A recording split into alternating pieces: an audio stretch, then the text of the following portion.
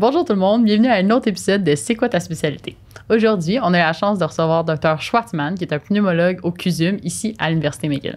Là aussi, comme vous pouvez le marquer, ben, c'est pas Anne-Rebecca qui est à côté de moi, c'est Ariane, une autre de mes collègues et amies qui est en médecine aussi avec nous. Alors, euh, moi, ce que j'ai vraiment aimé de cet épisode-là, c'est que ça nous a donné vraiment un très, très bon aperçu de c'est quoi la pneumologie. J'ai l'impression que d'habitude, on pense pas à toutes les facettes, tout ce que ça implique. Euh, au niveau procédural, au niveau de l'imagerie. Donc, euh, ça donné vraiment une meilleure idée de c'est quoi toutes les facettes de cette spécialité-là.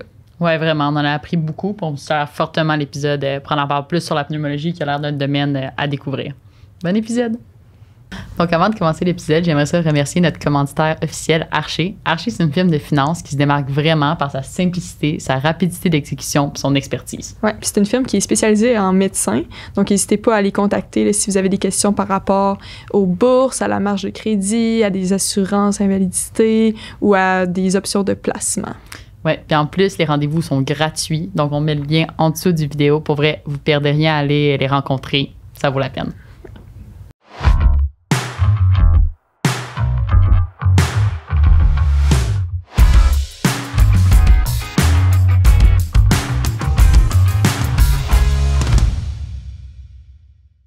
Merci beaucoup d'être venu à notre podcast. On est vraiment content de vous accueillir ce soir. Donc, nous, d'habitude, on aime ça commencer un peu par en apprendre et un peu sur votre passé. Donc, est-ce que vous avez toujours su que vous vouliez aller en médecine? Bien, je le pensais euh, lors de l'école secondaire. Euh, par la suite, euh, je suis allé faire mon diplôme de premier cycle en histoire et sciences et j'avais quelques doutes, mais par la suite, en allant observer un petit peu en médecine, j'ai conclu que oui, c'était le champ pour moi, puis euh, j'ai jamais regretté depuis. Et vous êtes allé faire des journées d'observation, c'est ça? Oui, c'est ça. J'ai fait un petit peu d'observation euh, quand j'étais au bac, là, puis euh, c'est surtout ça qui m'a convaincu. Euh, mettons que je n'étais pas tellement emballé des cours en chimie organique, puis des, des, choses de même, là, mais évidemment, la, biologie, j'ai toujours aimé, euh, mais, mais, vraiment, c'était plus, euh, disons, l'aspect humain, puis euh, l'aspect aider les gens, travailler avec les gens. J'ai fini par conclure que oui, c'était pour moi, malgré, évidemment, des éléments du parcours académique que j'ai pas toujours tant apprécié. Là. Puis, est-ce que dès que vous êtes rentré en médecine, vous saviez que ça vous intéressait la médecine interne pour la pneumologie ou ça, c'est venu un peu sur le tard?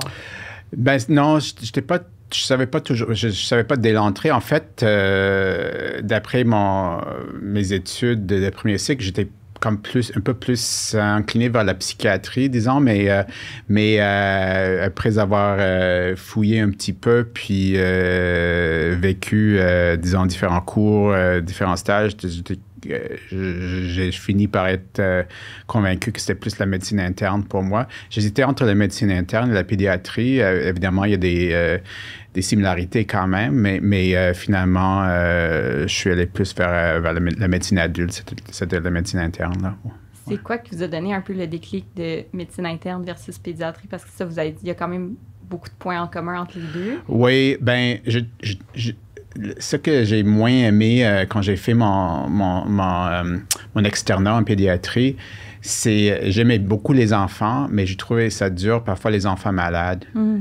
Évidemment, il y a d'autres gens qui, qui ont la conclusion inverse, puis aiment bon euh, le fait de pouvoir aider les, les enfants malades puis les, les, guérir ou les, les rendre sains. Euh, évidemment, c'est très attirant mais, attirant, mais dans le moment, surtout lors de l'externat où on travaille plus en hôpital, dans l'hôpital, puis plus avec des, des, enfants qui sont malades, pas les enfants qui sont en forme, là, j'ai trouvé ça un peu dur, honnêtement, mais encore, il y a bien d'autres qui auraient d'autres conclusions. Là.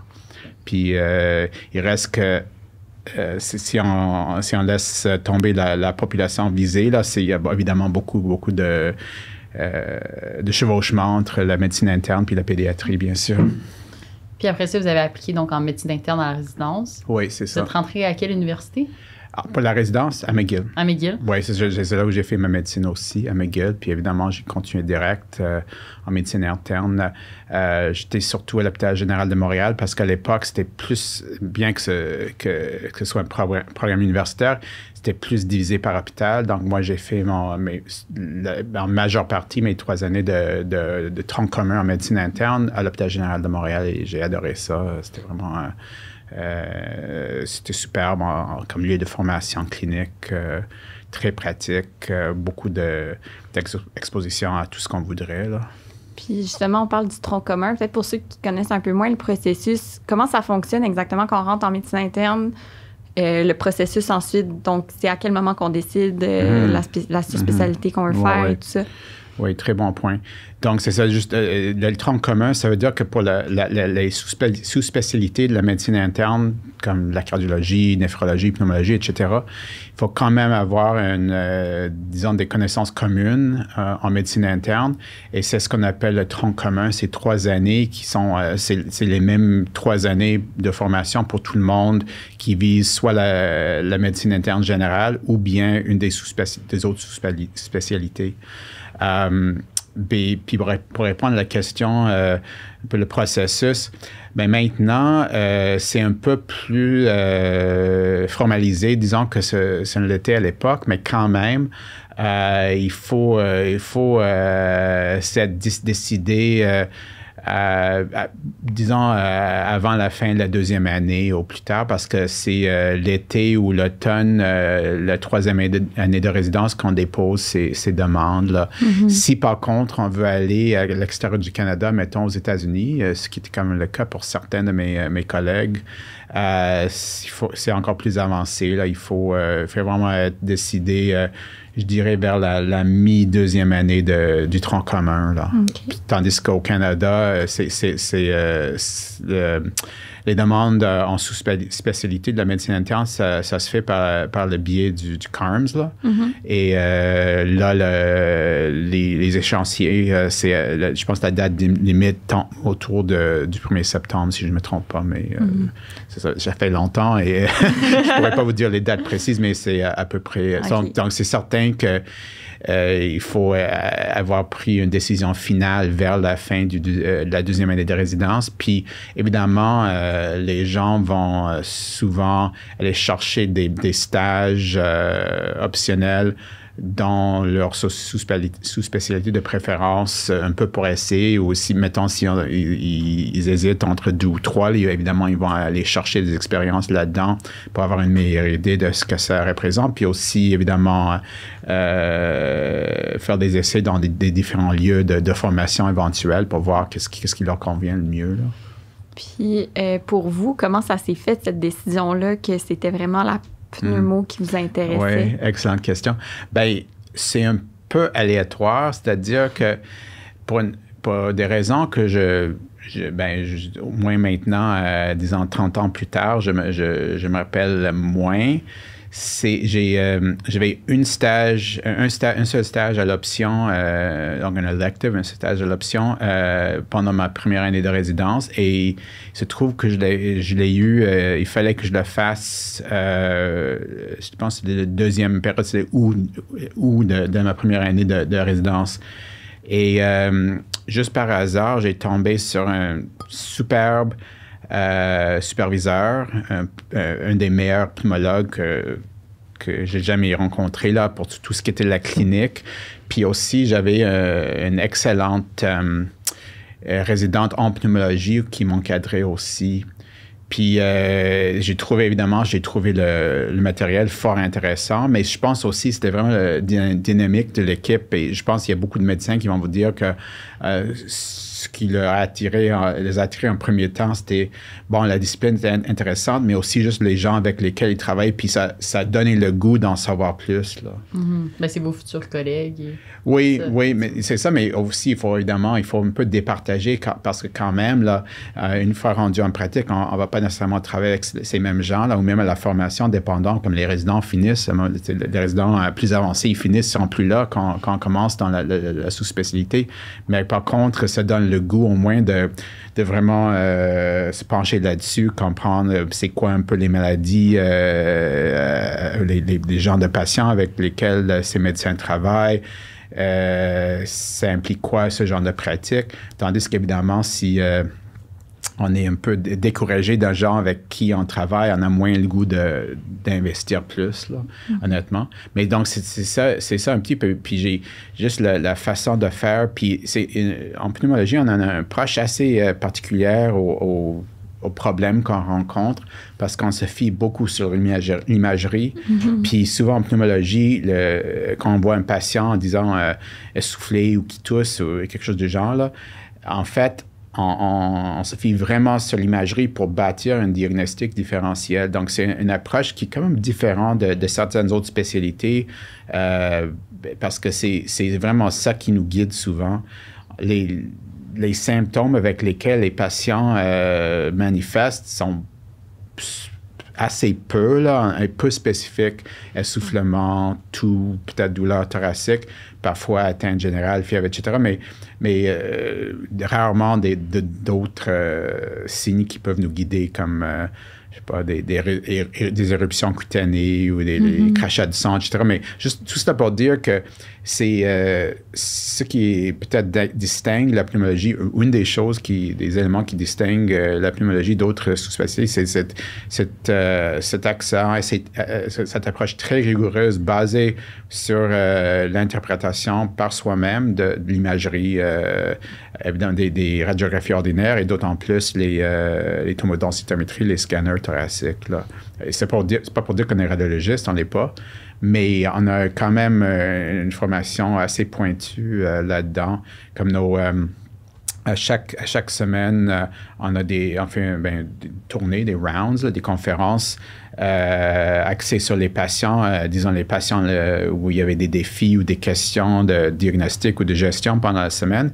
Et on commence toujours en, montrant l'imagerie, même sans, rien, dire du patient, de son état clinique, mais on commence avec l'imagerie. En fait, on demande aux, résidents sous-spécialité d'interpréter l'imagerie mm-hmm. avant qu'on procède à, l'histoire clinique, encore pour encadrer un peu le, le, le, cas, là, pour encadrer euh, la situation du patient. Parce qu'évidemment, disons, euh, un patient qui se présente euh, soufflé avec, je sais pas, un, patron de, de, maladie interstitielle, c'est bien différent d'un autre patient qui présenterait les mêmes symptômes, mais avec un gros épanchement pleural, mettons, par mhm. exemple. Donc, ça, ça, nous oriente beaucoup. Euh, et c'est la même chose euh, dans le quotidien.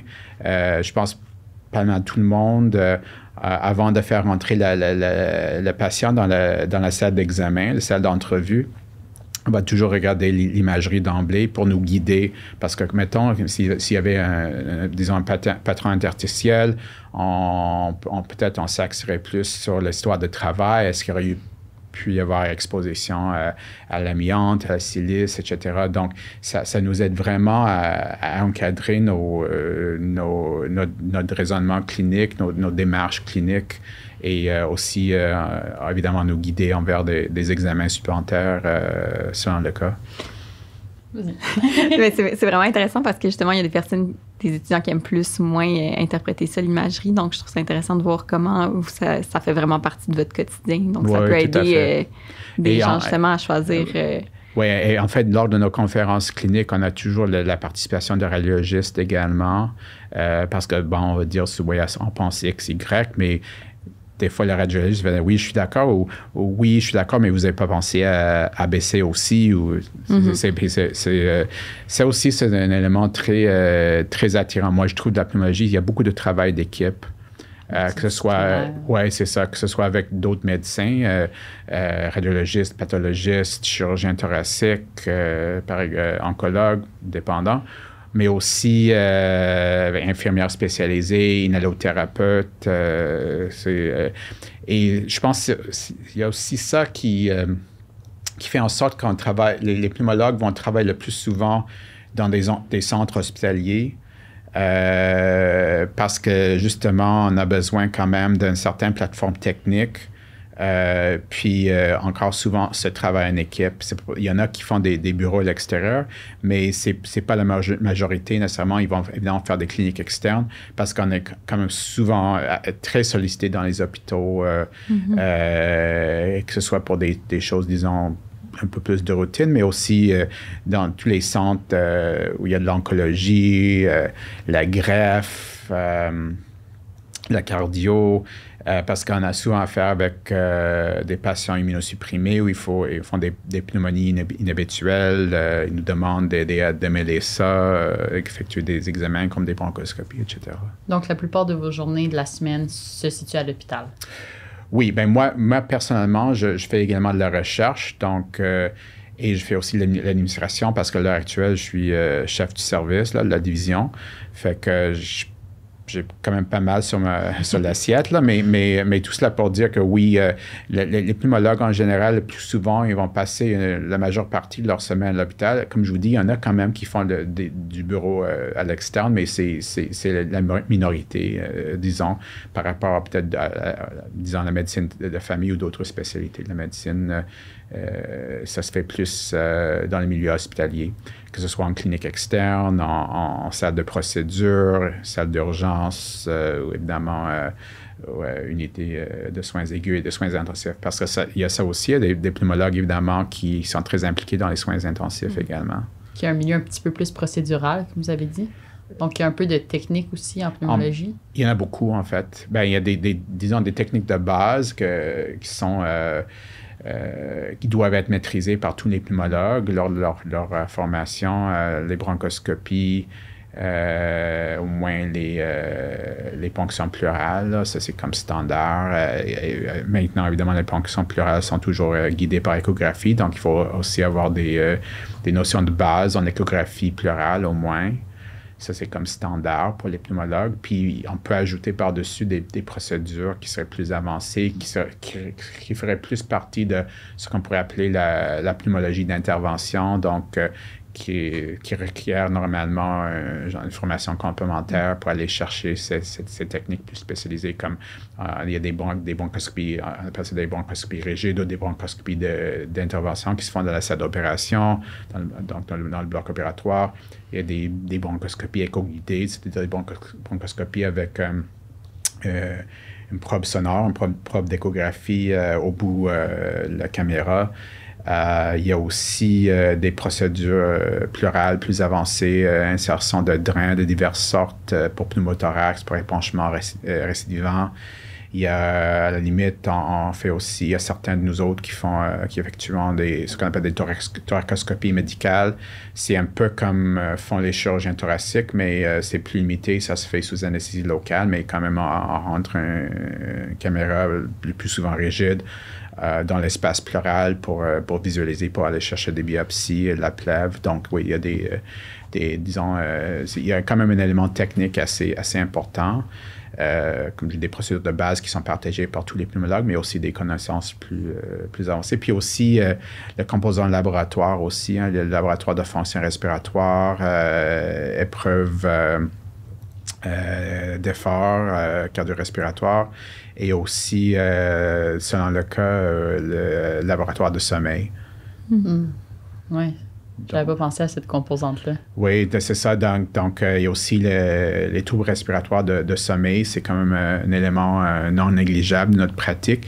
Il y a des, des pneumologues qui sont vraiment spécial- spécialement formés dans ça, là, qui, qui, qui allouent une, une majeure partie de leur pratique aux, aux troubles respiratoires du sommeil, tels que l'apnée du sommeil, mais d'autres aussi, syndrome d'obésité, hypoventilation, par exemple. Mais euh, il reste que pour la plupart, le- l'apnée du sommeil, c'est comme un peu une pathologie très fréquente, euh, très répandue. Puis maintenant, euh, pas mal tous les pneumologues en voient de quelque sorte. Là, et, ils vont euh, au moins euh, euh, voir des, euh, des patients, euh, disons, de- avec des euh, situations plus standards. Les situations plus complexes seront probablement plus réservées aux, aux pneumologues ayant eu une formation, euh, une expertise particulière en maladie du sommeil, mais euh, l'apnée du sommeil de base, c'est pas mal, euh, ouais, c'est pas mal fréquent pour tous les pneumologues, disons. Puis, dans le fond, parce que plutôt vous avez mentionné que la pédiatrie, c'était pas pour vous parce que c'était difficile de voir les enfants très, très oui. malades. En ce moment, votre, votre population avec laquelle vous travaillez, est-ce que la plupart, justement, c'est des gens très, très, très malades ou? C'est, très divers. Ça dépend un petit peu euh, du profil de pratique de chacun. Comme moi, moi euh, mon intérêt de recherche et euh, jusqu'à un certain point, mon intérêt clinique, c'est la tuberculose.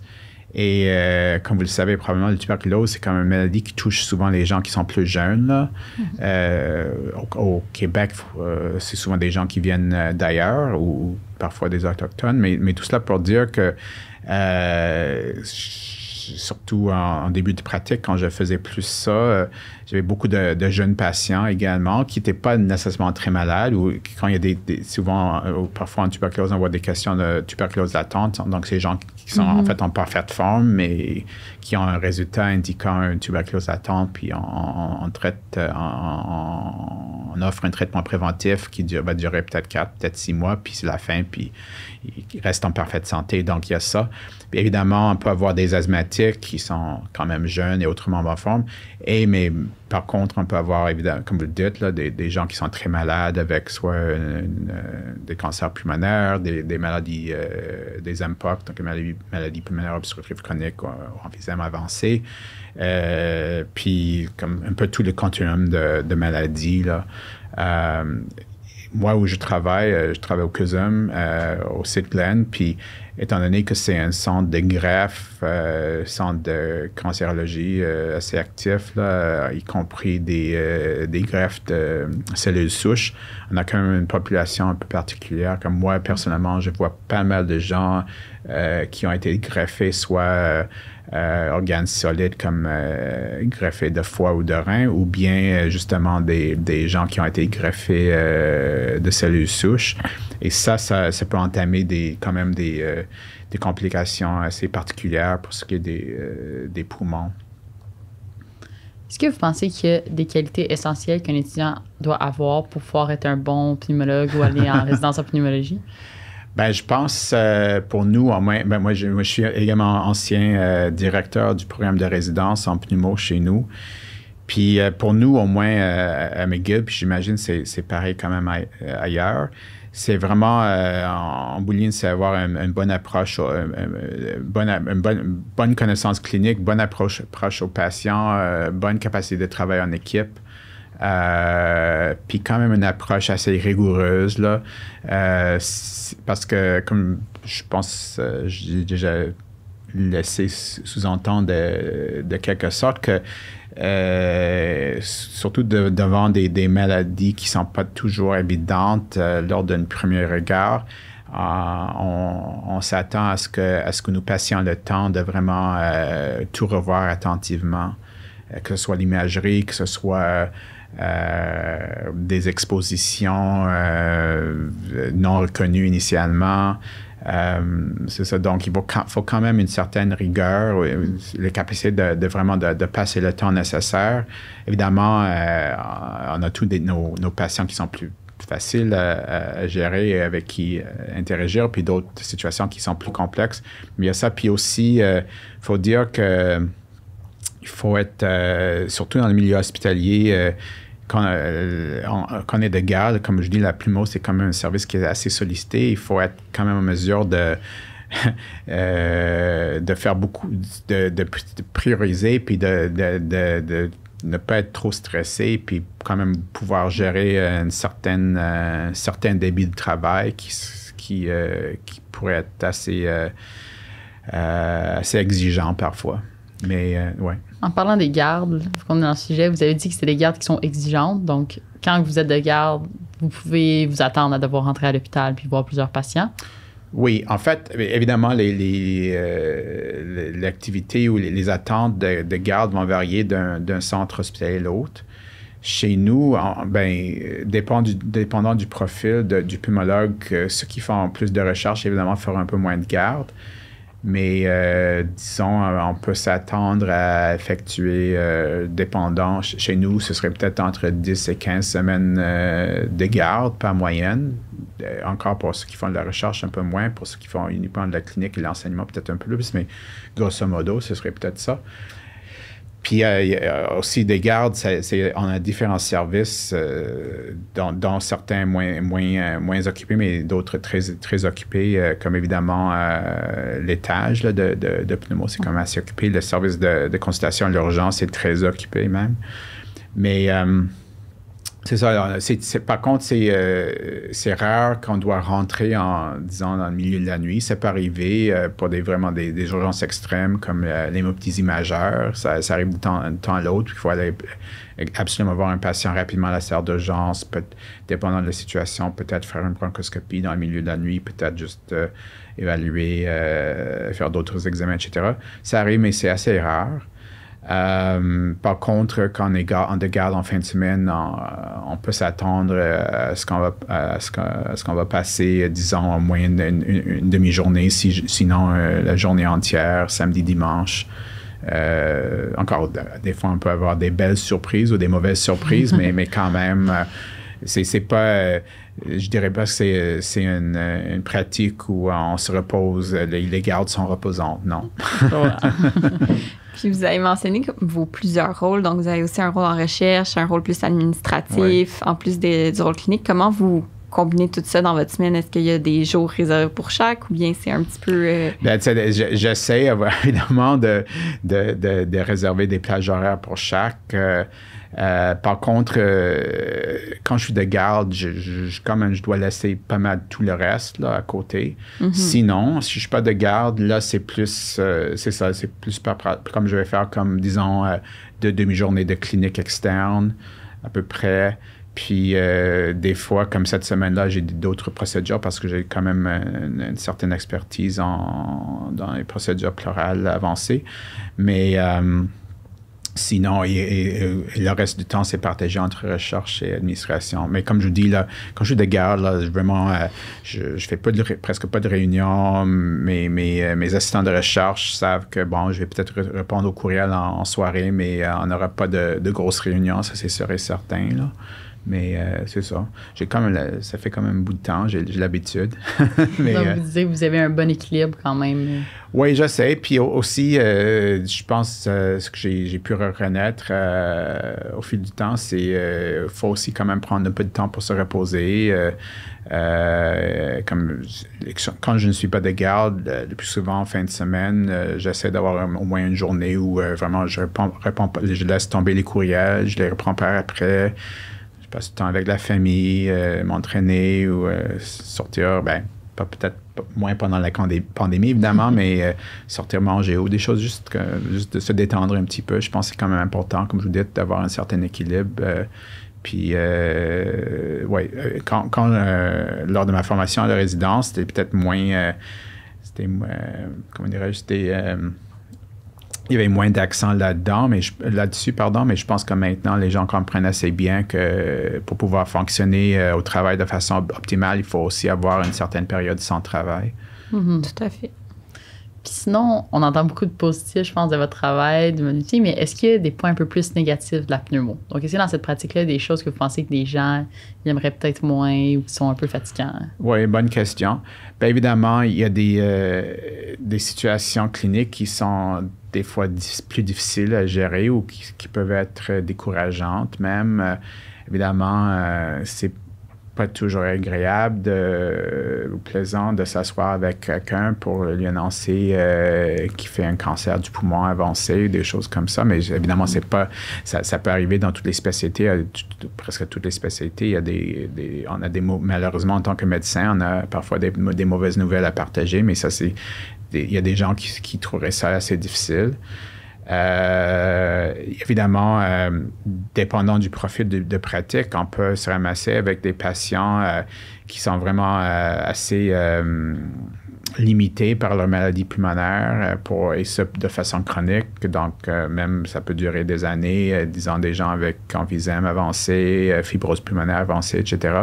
Évidemment, il faut, quand même travailler pour, pour les aider à, vivre le mieux possible. Puis il y a quand même des, des, des, percées qui, qui rendent ça possible, qui peut-être ne sont pas des guérisons, mais au moins les, les patients à, mieux vivre avec les poumons qui- qu'ils ont finalement. Mais c'est certain que euh, ça, peut être encore, ça, ça porte des défis. Um, puis, euh, comme je disais tantôt, là, il reste que euh, les gardes peuvent parfois être difficiles. Euh, savez, quand on est assis à la salle d'urgence en, train de faire les, deux premières consultations de la journée, puis on, se ramasse tout, à, tout un coup avec quatre ou cinq autres en même temps, c'est pas toujours facile à gérer ça. Surtout que euh, encore, euh, c'est pas toujours pour les, les, cas légers ou les cas, euh, les situations évidentes qu'on va aller chercher notre opinion. donc, ça aussi, ça, ça, ça, peut être difficile. Mais aussi, il y a beaucoup de positifs, puis beaucoup de, je dirais, de, récompenses. Je ne parle pas du, sur le plan financier, mais je veux dire récompenses personnelles, euh, euh d'aider des gens. Euh, c'est quand même, euh, on a des situations où, mettons, par exemple, quelqu'un se présente avec un gros épanchement pleural, on effectue, effectue le drainage nous-mêmes, ils se sentent beaucoup mieux par après, ils quittent mm. l'hôpital. évidemment, il y aura peut-être d'autres examens à faire après, mais juste pour dire, on, peut aider les gens sur, vraiment sur le coup. Là. Mm-hmm. des récompenses immédiates aussi. Oui, c'est ça, de cette façon. des, gens qui vont dire oui, merci, vous m'avez vraiment soulagé, vous m'avez aidé à, me sentir beaucoup mieux. Euh, il y a aussi, même dans des situations difficiles, il y a, des. Euh, il peut y avoir la reconnaissance des, patients, de leur famille, euh, envers des gens comme nous qui prennent, le, prennent quand même le temps de l'expliquer, le parler comme il faut, d'effectuer de, tous les examens ou tous les euh, toutes les démarches qu'il faut effectuer pour, pour, arriver à un diagnostic puis un plan de traitement. Il y a des gens qui sont quand même très reconnaissants euh, de ça. Puis on a aussi, la possibilité euh, justement de, c'est comme le côté inverse des maladies chroniques. On a aussi la possibilité de connaître des gens à travers le temps, voir soit la progression positive, parfois la progression moins positive, mais au moins d'avoir le temps à les connaître. Euh, souvent connaître les membres de la famille, euh, les connaître non seulement comme patient, mais comme personne. Je trouve ça quand même assez, euh, assez positif aussi. Là. Que c'est pas juste, ah, bon, on vous voit à la salle d'urgence, c'est la fin de l'histoire, ou bon, on fait une procédure, c'est la, c'est la fin. Là. Mm-hmm. Non, c'est quand même un élément longitudinal aussi. on dirait que c'est une bonne balance. Oui, exactement. En, fin de compte, c'est ce que, c'est ce que j'adore le plus. C'est, un domaine qui est très diverse en termes de, pathologie, en termes de, de pratique. On peut être plus axé sur les interventions, plus axé sur euh, euh, la physiologie respiratoire, euh, le sommeil, plus axé sur le cancer et toutes sortes de, les maladies infectieuses. Il y a toutes sortes de possibilités là-dedans. Et aussi, évidemment, les gens peuvent intégrer, facilement intégrer la, recherche si c'est leur intérêt. au Québec, en fait, on a un très, très bon disons, record dossier de recherche en pneumologie euh, depuis des années euh, euh, à Québec, à Montréal. vraiment, c'est. Ouais, donc, c'est ce que je trouve, en fait, le, plus positif, c'est que c'est tellement divers. Moi, personnellement, j'ai jamais eu une semaine comme, comme la précédente. Là. Mm. Chaque semaine est différente pour moi, même après je ne veux pas te dire combien d'années, mais depuis, longtemps, disons. Puis, sinon, est-ce que vous avez un message que vous aimeriez donner à nos auditeurs euh, qui écoutent en ce moment? Ben, j'aurais peut-être un couple de messages. Euh, d'abord, euh, choisissez le, ben, prenez le temps pour, pour faire un, choix éclairé de, de, de votre spécialité, euh, peu importe euh, ce, que, ce, que, ce que ce soit. Mais, euh, mais par contre, euh, allez là-dedans parce que vous l'aimez ou vous l'adorez, pas parce que vous croyez que ce serait une bonne façon d'avoir un, emploi à la fin ou parce qu'il y a d'autres gens qui le suggèrent. C'est vraiment, il faut, faut, suivre vos, vos préférences personnelles et vos impressions personnelles. Ça coûte, ça, euh, ça compte pour beaucoup, ça, euh, en, bouline. Et sinon, euh, si vous êtes intéressé à la plumologie, évidemment, il y a toutes sortes de... ressources en ligne. Il y a la, Société, Société, canadienne de toricologie. Moi, je suis très impliqué avec l'Union internationale contre la tuberculose. Euh, il y a, comme, on n'a pas beaucoup parlé, mais tout cet élément de santé publique aussi qui est super mm-hmm. intéressant. Euh, euh, en pneumologie euh, que la tuberculose m'a permis de connaître. Et je travaille évidemment avec des gens de la santé publique euh, locale, mais aussi internationale. Donc, je trouve, trouve ça super intéressant. Donc, c'est ça. euh, euh, si, si jamais euh, la pneumologie vous, vous attire, ben, n'hésitez pas à me contacter ou contacter mes collègues. Euh, on, a, on, on aime beaucoup notre spécialité, puis je pense qu'on a euh, tous l'intérêt d'a- d'attirer de- des jeunes gens euh, motivés envers notre spéci- spécialité. Ouais, mais c'est un bon message. Je pense qu'il faut se rappeler aussi d'un peu suivre nos guts là, quand on choisit notre Oui, exactement, puis- exactement. Évidemment, il faut y réfléchir, mais, mais, mais par contre, il faut aussi, euh, c'est ça, suivre nos instincts quand même. Et en- encore, comme je disais tantôt, un peu départager quand même les personnes impliquées de, de la spécialité en tant que telle, parce que les personnes vont changer, la spécialité, ben, elle aussi, mais très lentement. Oui, beaucoup que plus lentement que, le- l'entourage. là. Ouais, ben merci beaucoup d'avoir été avec nous. C'est vraiment une discussion intéressante. Puis sinon, à nos auditeurs, on n'oublie pas, on aime, on partage, on en parle à ses amis. Puis sinon, on se dit à la semaine prochaine. Oui, c'est ça. Puis bonne chance à tout le monde. Merci. Merci.